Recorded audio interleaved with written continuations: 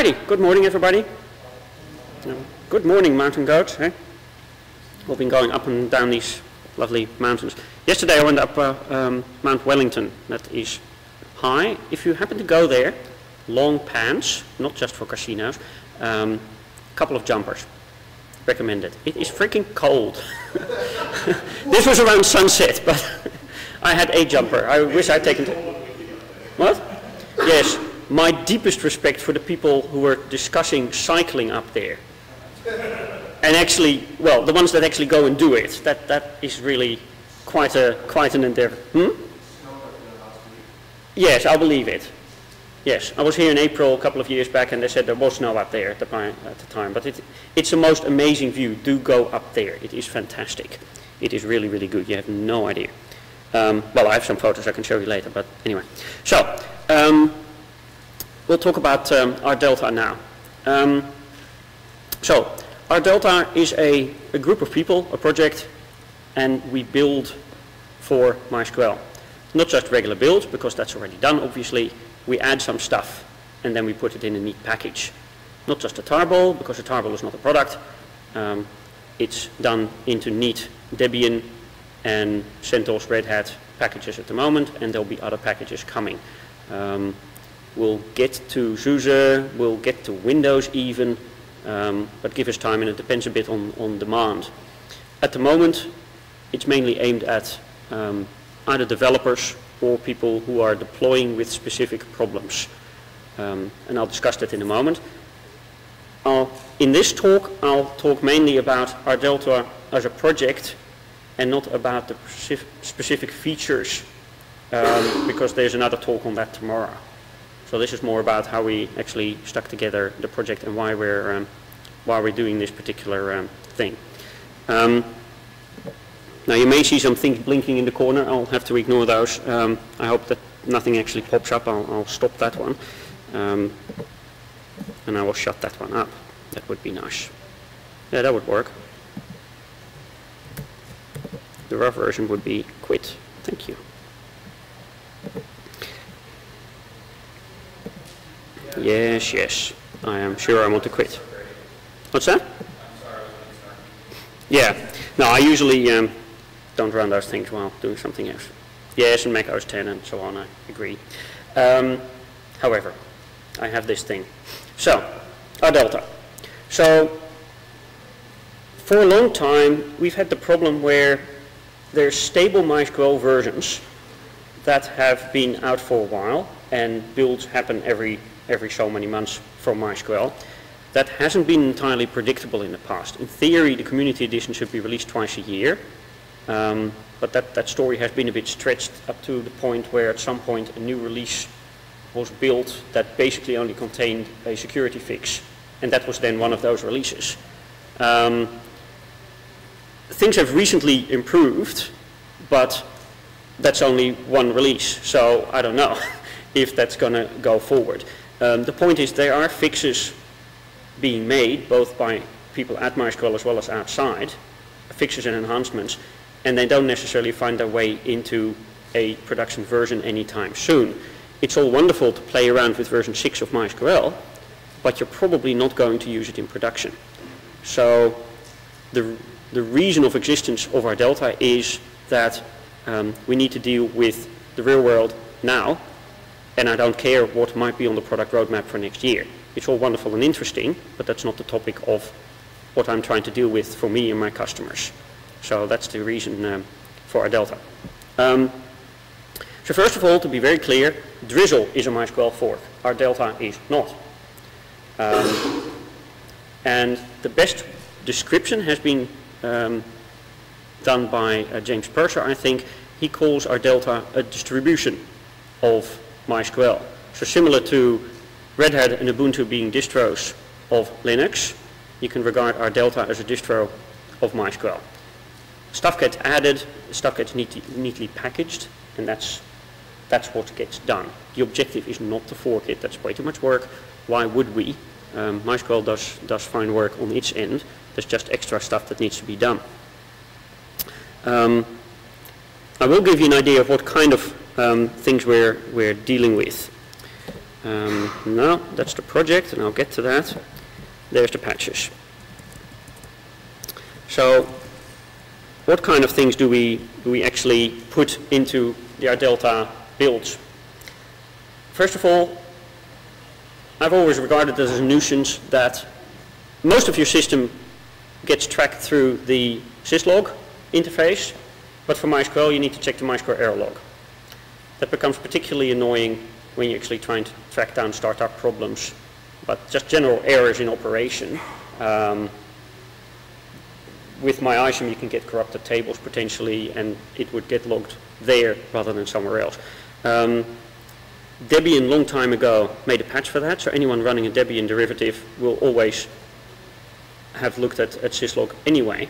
Um, that port has been extracted from the bigger amount of changes that Debian made to the startup scripts, and it's in this build. This was done by, by Percona.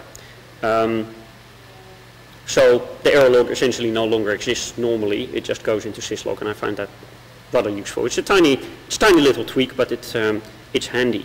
Um, show patches was done by Jeremy Cole, and it is basically a bit of framework to see what else is going on. Um, I should have a an Delta one running. So this is Ubuntu inside Mac and all complicated.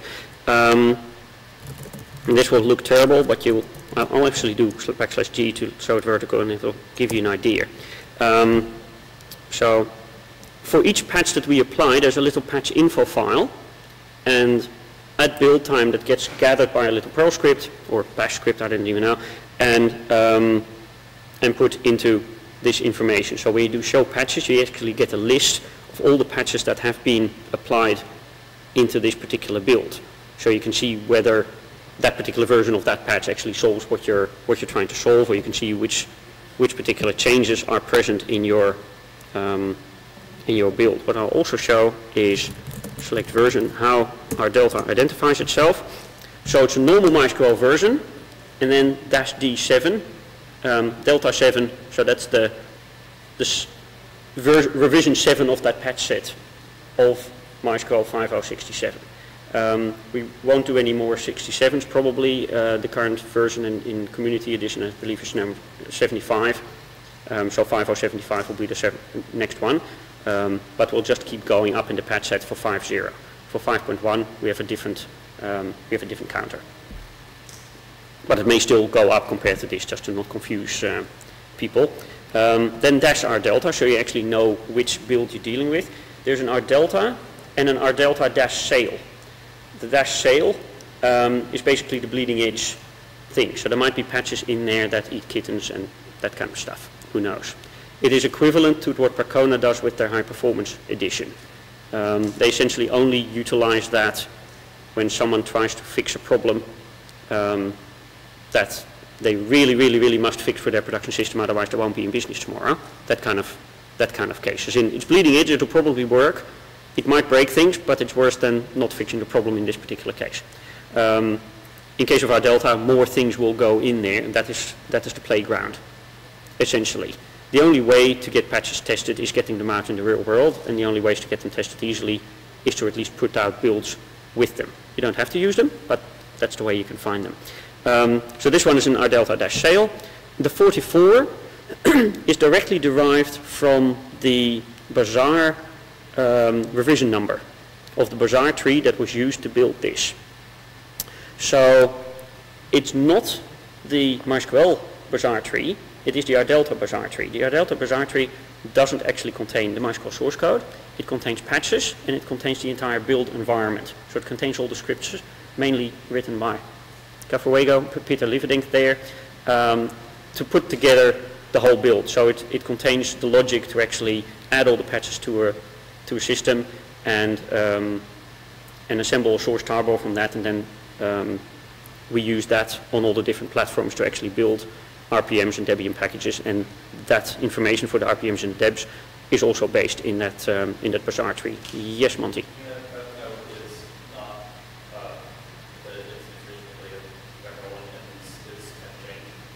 What, the number? Yeah, the okay. Have a better idea? Well, just, just as a warning, the, the rel ID is a, is a, um, is a, a, a, a thing, so depending on how you merge, uh, merge branches back and forth, you can find that it'll actually go back and retroactively change your, your rel in in a particular branch. Um, ah, so okay. It's, that would break things. it's not guaranteed Bugger it's a useful thing, but after a merge, your revenues can change. So, um, if you're always just merging, if, if that's a tree and you're always just merging into it, it's fine, but if you, if you, if you merge in the opposite direction, then it can, no, that's not, that's not a fact either. No, yeah, it's just, it depends on how you're merging things around.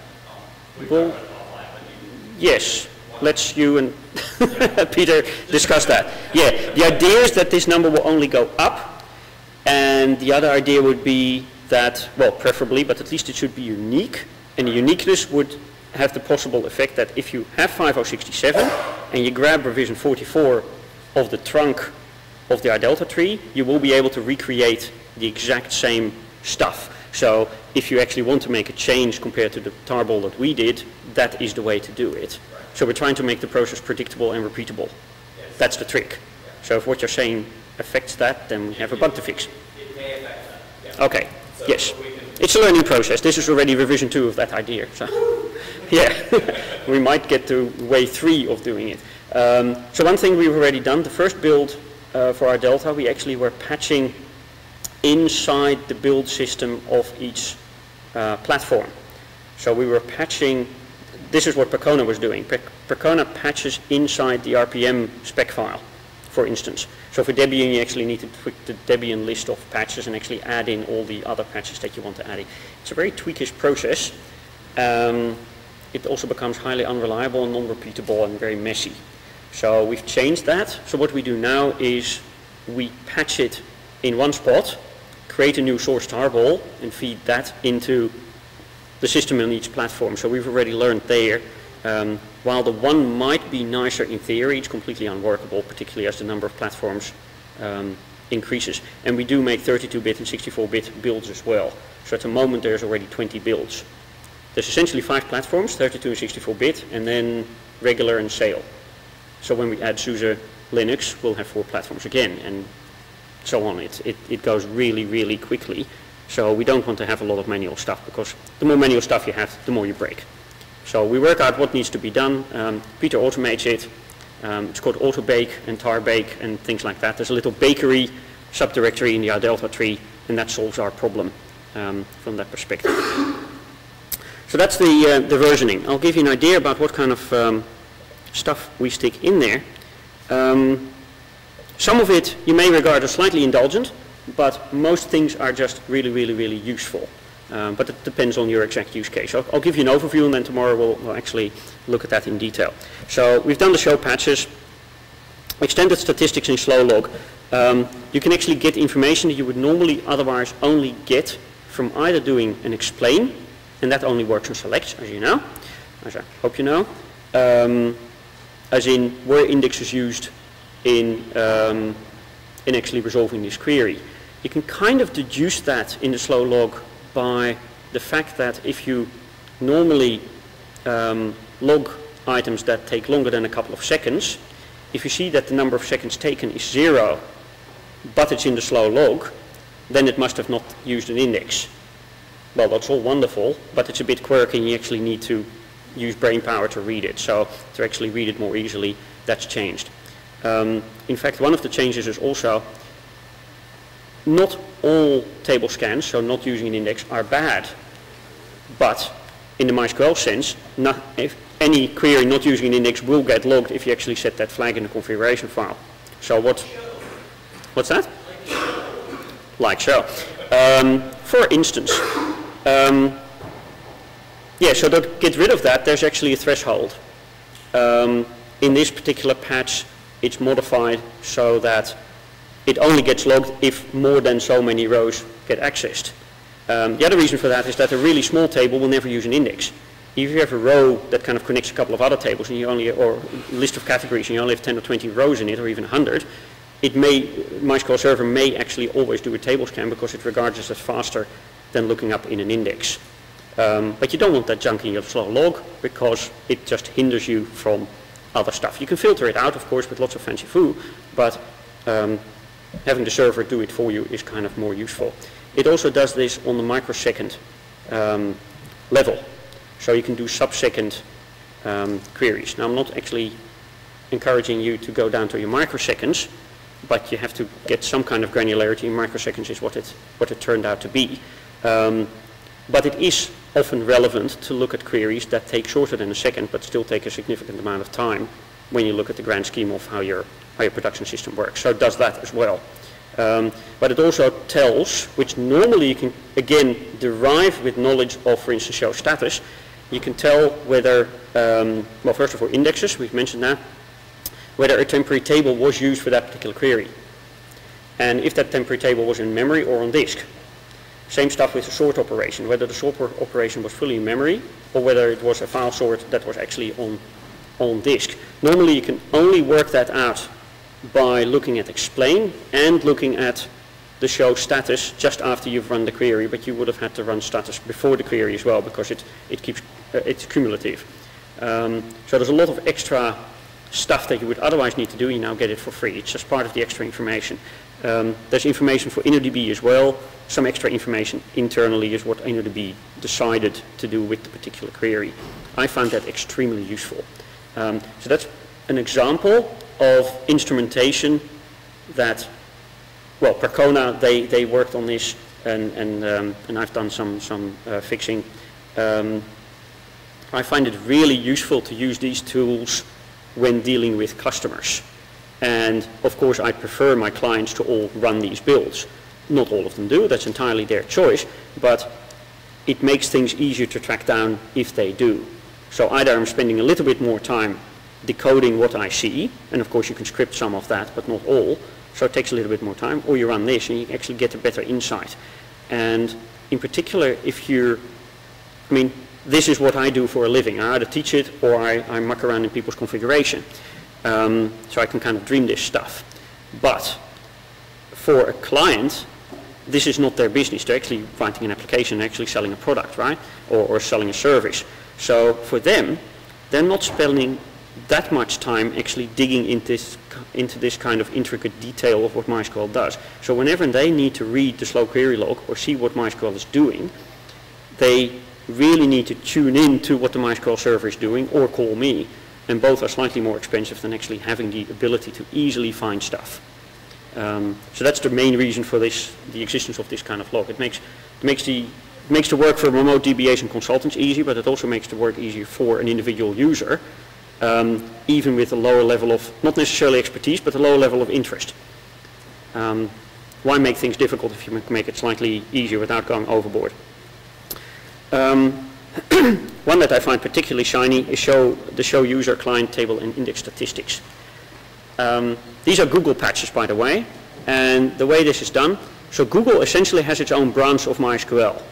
Uh, it's not quite a fork, it's just for internal use, and um, the issue with that is they do it for their own purposes, and it kind of rolls a heck of a lot of changes into one. You can't actually sanely, I think there's one or two people outside Google that do it, but you can't really sanely run the MySQL version with all the Google patches because it modifies so many things that it might indeed uh, hurt kittens when you do um, run it in a world other than the particular Google world that it was designed to do it is debugged for the Google case. It's not debugged for lots of different types of users. Um, and it's all together. So what people do, and sometimes, um, sometimes um, Google does this themselves, and sometimes other people do this, extract individual features from the Google patches. So you see that list there. I think, yep, my arrow is visible. Um, those are extracted, extracted patches that have then that can then be applied separately. So that means that if there's a bug, we can actually fix it. More people will keep using it. And in some cases, we've already found bugs and they get fed back to Google, so it helps them as well. And that in, in turn encourages them to actually extract patches for us because making that effort allows us to build it for you guys. You guys provide the feedback on what's wrong with it and they make their, their stuff better. So Google will run better because we actually try the, um, try the additional code. What index statistics does is tell you which indexes on which tables are being used to retrieve how many rows and, and so on. So it provides interesting statistics. But on the fundamental level, it actually tells me which indexes are being used. Now, the version 2 of that patch can be um, accessed through information schema. And that means that I can now do a, a query where you can join the indexes that you have on a table onto this table, do a left join or subquery, and you actually find out which indexes are not being used. And that's gold, because how else do you find out about that? You don't. You can kind of do it by deduction. If you have a table and you see certain queries, you know that some indexes are redundant, some indexes will just never be used because you know a little bit about MySQL and the queries and the data pattern and so on. But this is from the real world. Now you can just, with a single query, just find out every month which indexes are not getting used. That's brilliant. You remove them and your, your search updates, and deletes become faster. That's nice. And disk I.O. reduction and so on. That is really, really important. That's the only way to do it. Um, otherwise, you'd have to run every query separately through explain, work out whether it's using an index, and hoping that your data pattern from then, from when you really ran it, is, is the same as from when you ran it through explain. It's, it's much more quirky. Um, so this really needed to go inside the database server and just grab that information out. Um, now I know the, there's the MySQL Query Analyzer, which is part of the MySQL Enterprise offering.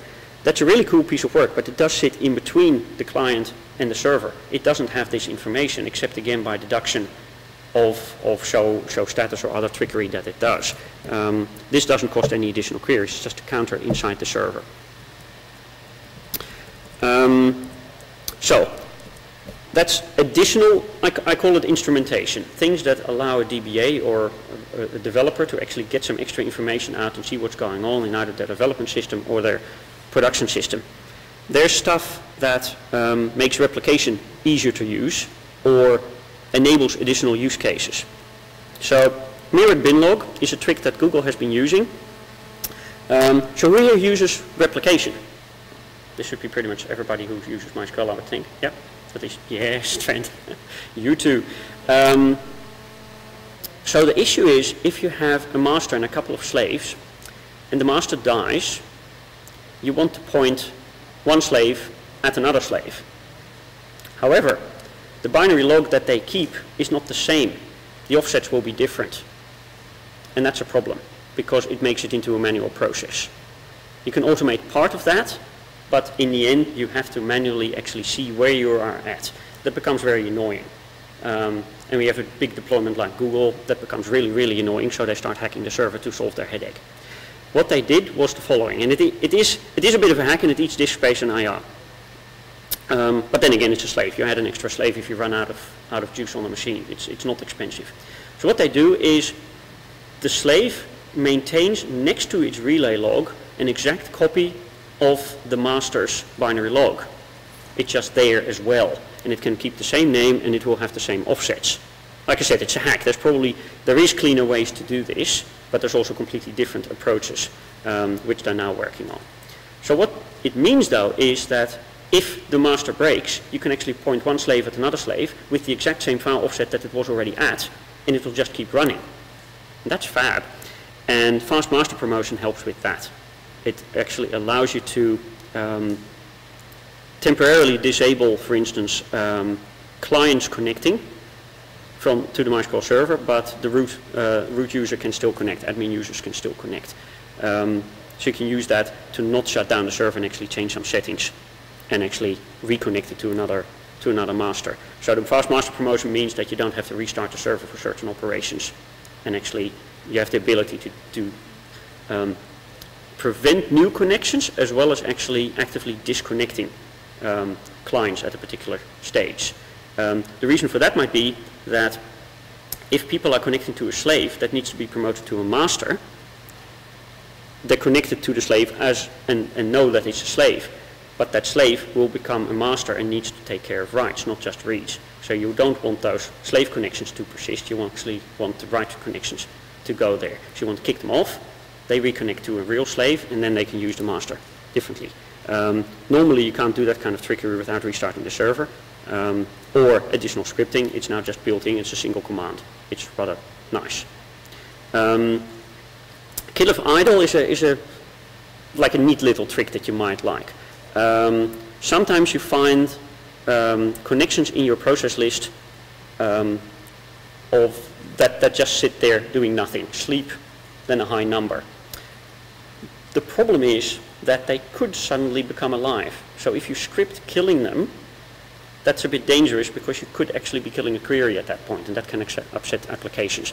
So what this does is kill if idle. It tells the server to do this, but only if, that, if, if it's idle while the command is being run. So if the particular connection is suddenly active again, it won't actually destroy that connection. So it's a neat trick that some applications need to use. It usually, it's usually applied in cases where the application is somewhat unreliable but can't be fixed. Um, for instance, that there's the old case of, which can be fixed obviously, um, the case of MySQL um, or PHP being used with persistent connections to the MySQL server.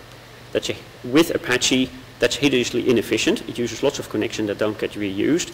Um, this is one way of actually cleaning up that kind of stuff, but also it could be hung scripts, things like that. Um, this one is rather nice. Um, inside InnoDB status. Who here has, has played with show InnoDB status? Anyone? Some people? Trent would stick his hand up, I would hope. Yes? Good lad. um, anyway, it, it's something you just need to do to track down problems in the InnoDB subsystem. You get a lot of information, but it's kind of a text chunk. Um, the problem is there's some stuff in there that you don't actually want to see the superfluous information on internal locking structures of, um, of InnoDB. I really don't give a stuff most of the time. It's debugging info. Why didn't we get that switched off somewhere along the way? But it's still in there. On the other hand, you can't get information about row level locks unless you turn on the lock monitor inside InnoDB. The problem is that that also has a couple of other side effects. It, it increases disk I.O. and other things. You don't want to keep it running all the time. So what Baron Schwartz did a long time ago, he just tweaked the source code a little bit to get rid of the extra information that we didn't want and add in the other information that we do want, but we don't want to have to turn on other specific things that have side effects. Um, so, in a nutshell, show InnoDB status is now more useful. Um, Google has been doing more modifications on that to make put a bit more information in it and restructure it a bit so it's more readable. That's a bit more fundamental. I don't know how many tools there are that actually parse this stuff but their restructuring might actually break some of that scripting. So I'm not ready to put that into the Delta build, but it's interesting to look at. Um, InnoDB buffer pool content, it's kind of a debugging, application debugging thing. You actually want to see what's in the buffer pool in terms of indexes and data, and, and you can get performance information from there. The rest of this stuff is, or at least this, yeah, the chunk above, above red. Um, so this is the OurDelta sail stuff in a moment and, and, and, and is, um, well, some of it there.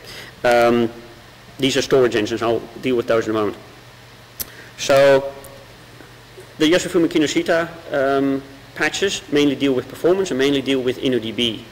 So how do you make InnoDB scale properly on CPUs uh, on more than four cores? These threads deal with that. And how do you deal with systems that have more um, more disk I.O. channels because by default InnoDB doesn't have more than four I.O. threads. It doesn't matter how you tweak the settings, it still does four I.O. threads. So you can actually tweak them now and in some cases you can make that dynamic. Um, the problem is of course this is an incursion into, into serious server code space. Um, and in this case it's actually InnoDB which is not quite MySQL, it's, it's Oracle editing that stuff. So getting these patches into the original code base upstream is a long, is a long effort. Um, for some of these things it's in progress, but we need those things fixed now. If you have 8 cores or 16 core machine, you actually need to run a single server for certain cases and, um, and have the thing perform rather than degrade on so many cores, what do you do? Well, you use these patches. Um, you can either build your own server or you can use an OurDelta. That's the, um, that's the trick. So storage engines. Uh, for various reasons of licensing, practicality, business, and so on, um, the original MySQL builds don't include all the storage engines that are out there that might actually be useful. Um, there's the InnoDB, that's for 5.1. There's the InnoDB 5.1 plugin version of the engine, which actually contains additional features over the one that's sitting in the source tree. So what we're doing for OurDelta when we get to the, the 5.1 build is actually um, essentially wiping the directory that was there, dropping this in during the build process so that it essentially replaces um, the original InnoDB with the plugin. What in fact we'll do is we'll, won't use that version. We're using something called XtraDB, which Percona has done, which incorporates all these patches already into a complete code base of InnoDB. So essentially they have forked InnoDB on a, on a modest level. Um, Sphinx, who here uses full text searching? Yep, who here uses Sphinx? I'll, I'll give you a quick one-liner on, on what it does. It's a full text search system, but you don't have to use it from within MySQL. It actually has APIs from PHP, Perl, Python, Java, whatever. And it is extremely fast. It will actually scale much better than, um, than full text will. And um, of course, full text is MyISAM only, which is a major downside to it in certain, in certain cases. Um, so with Sphinx, you don't have that limitation. It, it's not tied to any particular engine. Yes, Monty? Ah, yes? Okay, excellent. I still think Sphinx is better though, sorry. exactly, he's good. But, um, what's that, sorry? Yes, yes, I know. Yeah, yeah. Yep. That's uh, so what he's doing. Hmm? Um. So it is, it is a, it is a, it's a nice uh, full text engine and you can actually query it from within MySQL so you can actually easily join onto other results. That's of course the, the story. But in version 5.0, in order to get that engine to work, 5.0 doesn't have the plugins, so you actually need to patch the main server, including the parser, to actually get that stuff in, and then you need to compile the server, uh, the storage engine into the server. It's a bit finicky. It's not difficult to do, but you don't really want to build your own server. So OurDelta has done it for you. So any version of OurDelta has the Sphinx storage engine built in. If I say uh, show storage engines, I'll do backslash g again. You can see the magic list, and there's Sphinx. Okay, so you're always guaranteed to have that version, um, to have that, that facility available when you run an OurDelta um, build. For 5.1, what we'll do is include those plugins. And yeah, you can say it's, it's, a, it's a, who here actually uses 5.1? That's not a hopeful Okay. People who work for Sun don't stick their hand up now. Who actually uses 5.1? yes, John. Okay. And up, up there, one. Who uses 5.0? Who uses something else? Yes, what? Okay. Yeah, yeah, you're happy, you don't want to upgrade. Is, is there a particular reason you're staying there? And it works for you, so it doesn't matter. It works for you, so it doesn't matter, right? Okay, yeah, that's cool. Um, yeah, so Plugins are fine, but they're very finicky. You need to grab the right plugin for the exact right build of MySQL, otherwise kittens get hurt again. Um, so what we're doing for OurDelta is just dropping them in during the build process. Um, it's a bit of a debate going on. We'd like to do it in such a way that it actually is built as a plugin and then enabled at runtime, but that does mean that it, it's an extra step to get to use it we can drop it in and compile it in, um, and then it's automatically enabled. But that might potentially affect server stability. It could, technically. And we're, we're, with a plugin, if you don't load it, it shouldn't affect it. So there's a bit of a discussion there. Maybe we'll do it one way for the main build and the other way for the uh, OurDelta sail build. We'll, we'll see how we go with that. Um, the reason for putting them in in the first place is, yes, they're plugins, but because they're finicky, um, we need to get more people to use, for instance, the PB, PBXT storage engine. It has potential. It is a good engine, but more people need to use it. And the only way to get things to, uh, to be used is providing a very low threshold for use. If you just have it built into your server, it's very easy to try. If you need to do special builds and compile MySQL yourself, it becomes a hurdle. That's the, that's the story. And PBXT in particular deserves to be out there and tried. Um, FederatedX is a special case. The federated engine inside MySQL at the moment sucks. It contains lots of bugs and everybody knows it. Um, but the person who used to work on there on that no longer works at MySQL. Um, and he's fixed most of those problems. And that's the FederatedX storage engine. So what we want to do is just drop it in and call it federated, not FederatedX. So it'll just be um, an upward compatible or downward compatible um, replacement. So your application will now work without the bugs rather than with the bugs, which is kind of nice. So that's the, um, the feature list in, in short. Um, Percona has been very busy over the holidays while I was hanging out in Europe and actually doing lots of new versions of new patches and so on. There's now more stuff there like InnoDB, FSync and so on. There's lots more um, patches that have, have come across. Um, so they need to be folded into, into OurDelta. Essentially, Percona for us is one of the upstream providers of um, patches. So we just apply what they, what they do, except they've changed their structure a little bit. They used to not be on Launchpad with Bazaar, and now they are, which is really good. Um, so we need to change the, the structure inside um, OurDelta a little bit to actually merge that in nicely. Yes?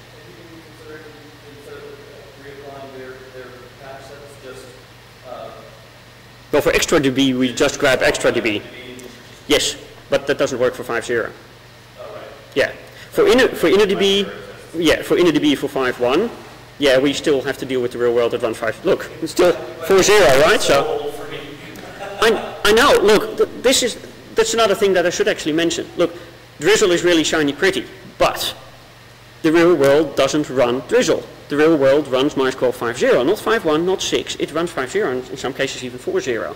And those people have needs that need to be addressed. And that's the reason of existence for, for, um, for, for the Delta builds. We need to add those patches in some kind of predictable way um, without making our life too difficult. Of course, as the number of patches increases, the management problem will increase as well. So we will try and be sane. We don't put everything in. We can't. Yes, sorry? Yeah. Oh, okay.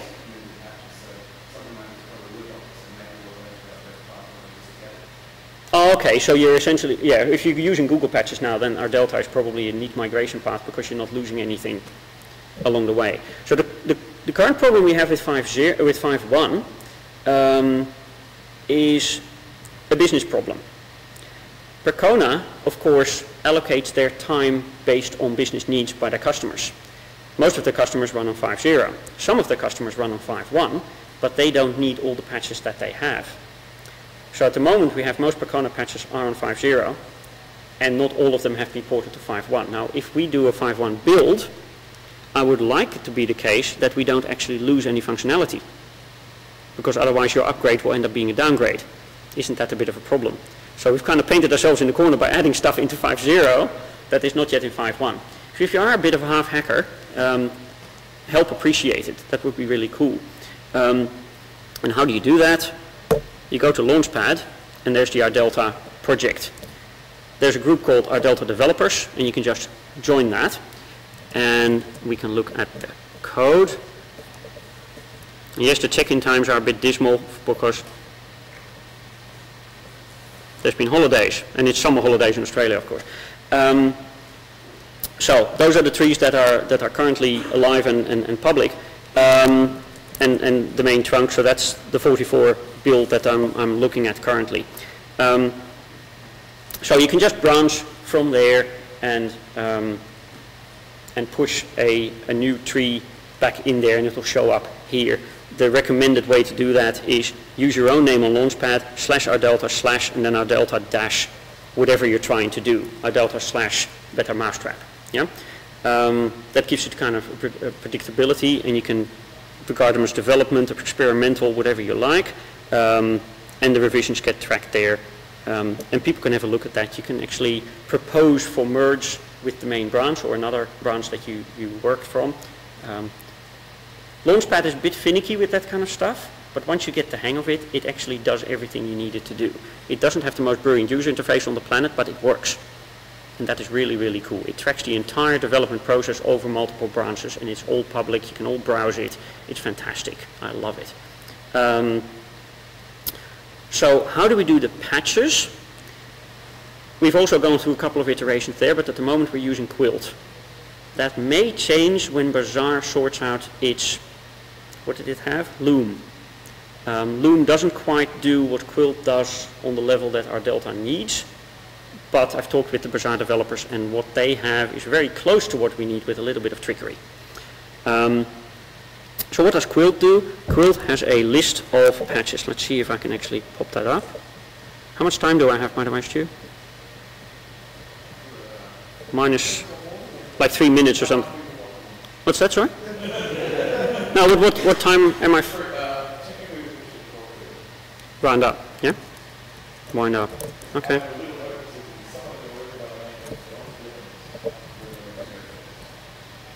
What? So what time am I at? Thank you. Um, okay, I can't show you right now because that is not quite uh, the right development environment. My development environment crashed, um, so I need to actually recover that. My, I have a little disagreement with, um, what is the thing I'm running it in? Um, VirtualBox. It's very good at destroying its state and stuff at some point. It's a bit sad. But it is free, so what am I complaining about? Um, yeah, so, so Quilt has a list of patches that you can apply as a stack.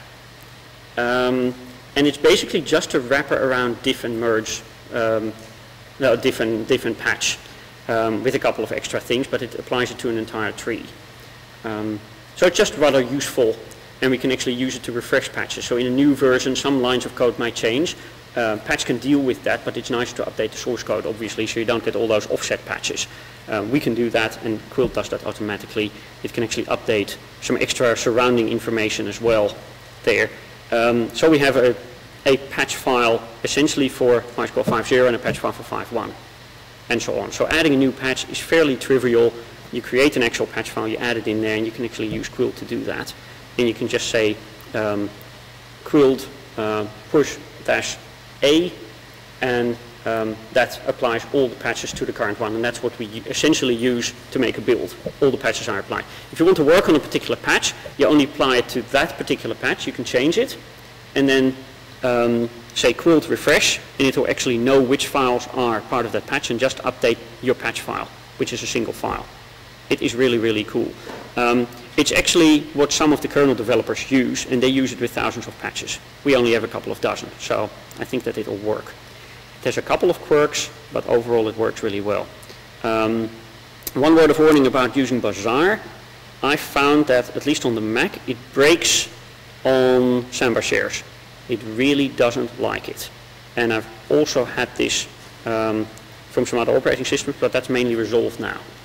Um, so if you have a shared repository on, on, a, on a system, um, that gets a bit um, that gets a bit tricky. So I keep local repositories now in my virtual machines and in, in, in Mac and, and all, all that. Um, anyway, so tomorrow there's the, um, there's the talk about the details of the particular patches, but this gives you a basic overview of what you can do and how you can do it. I'll quickly show you what a download might look like. Oh, by the way, there is documentation for those patches as well. Um, it's not complete yet, but will be. So you can look up what user stats do, and you actually get information of the summary, where the patch comes from, the actual commands, what the output is, um, and there will be examples as well.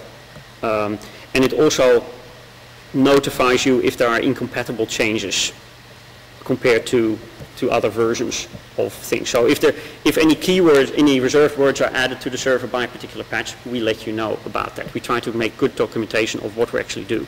Because of course it is tricky, um, patching a production system. So this, this gives you the idea for, for Ubuntu how to install. Um, yes, we're taking some shortcuts here because you shouldn't just install our, um, our GPG key without, um, without verifying and so on, but this is the basic idea, and if you're smarter, you can actually work that to your liking. Um, so the first command, add your GPG key to the, to the key ring that's used by apt-get, and after that you use wget on, um, well, the release version that could be Hardy or Intrepid or um, uh, and, and, so on. Um, dash OurDelta or dash OurDelta sail. So you can't install both at the same time. Um, and it just has that list and it puts them in a separate directory.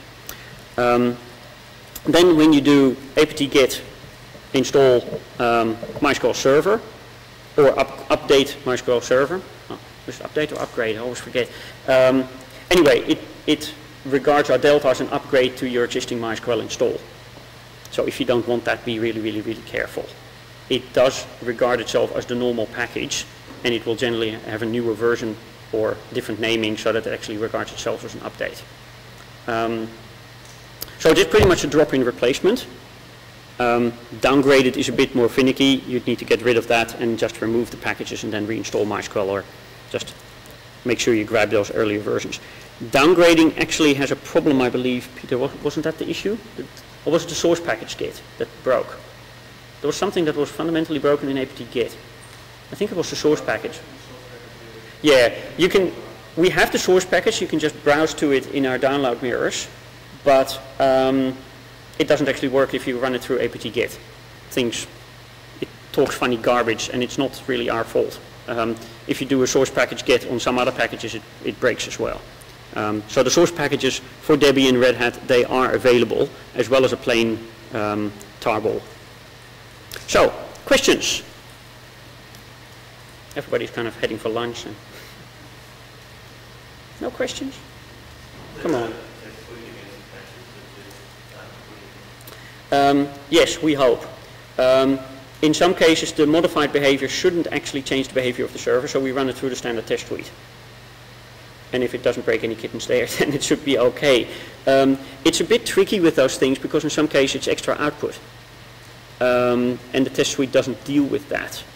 For instance, um, this version that I'm currently running actually can crash the server, and I'll tell you where, uh, because it's interesting. Um, if you're running mysqld dash dash help dash dash verbose, it will crash.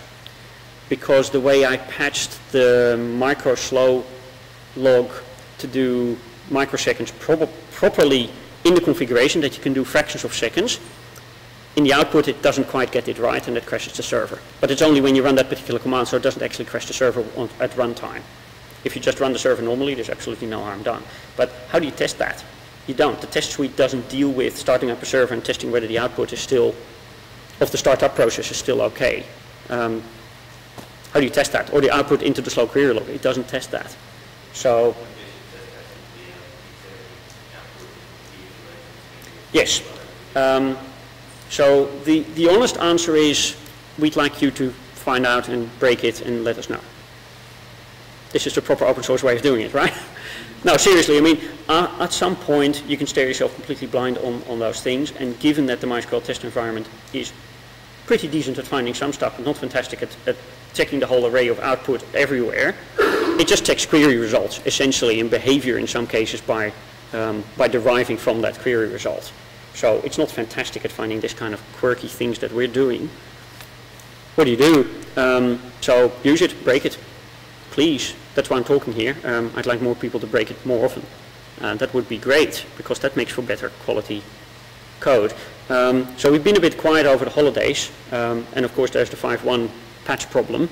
But um, yeah, there will be there will be new builds shortly of, of maybe a 5067, but certainly a 5075. There should be a 5.1 coming.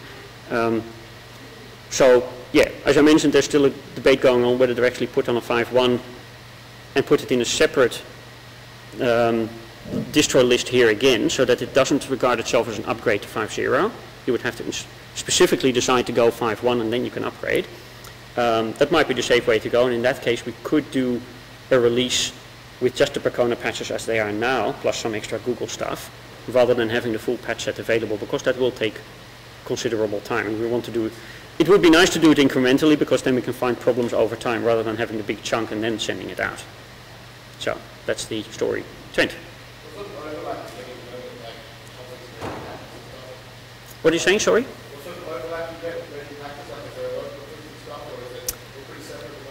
Um, oh, you mean in, in applying patches, patch conflicts? Yes. Five. Yeah, we have to we have to be careful with what we do, and there are dependencies inside the patch um, stack. So if you can't apply, if if you haven't applied this, you can't apply that because it's or, and the other way around, they they would conflict. The main cause of the problem is the parser. Um, sometimes because internally in the parser, just for practicality, we have things ordered alphabetically, and sometimes things are alphabetically within the three lines of code that it needs for context. We can make it one line of code, but that makes it highly dangerous to patch, so we don't want that. So we'd rather have it break. Um, 5.1 is easier in that respect because you can have plugins that do that kind of stuff without modifying the parser. So 5.1 will actually have fewer patch conflicts than 5.0, even though we're essentially doing the same patches. But not everything is pluggable, so we still need to hack into the um, we still need to hack into the parser. For instance, the kill if for the for the, the unused processes and stuff, that is still a um, that's still a parser patch because there's no plugin infrastructure for that particular type of thing. Process list plugins yeah, well, doesn't exist. So um, yeah, it's not all quite straightforward, but it is relatively predictable, and so far it's been relatively painless. But it's not entirely zero effort. You can't just leave, that, that's the thing. You can't just leave out one patch. We can't create a pick and choose system. It just doesn't work. Um, Jeremy Cole wanted to do that originally, where you selected on the website, I want that patch and that patch and that patch, build it for me. Nice in principle, doesn't fly. Now there's one comment to that. Loom might actually fix this. Because the way Loom regards those patches is all separate, and it does what it calls an octopus merge between all of them. It doesn't just apply one and then the next and then the next. It applies all of them as a merge, and that makes it much smarter about the differences and the offsets. It doesn't care. Because in the end, it doesn't matter which order two keywords have in the parser. That's irrelevant to the functionality of the parser. So um, whether it patches it this way or this way, it's okay. So if we get to use Loom, that would make it nicer. So I would like to use it, but at the moment Quilt does most of it. But it is patch-based, and patch is stupid, right? Stupid for functional. Okay, last question. Anybody? Alrighty, thank you all.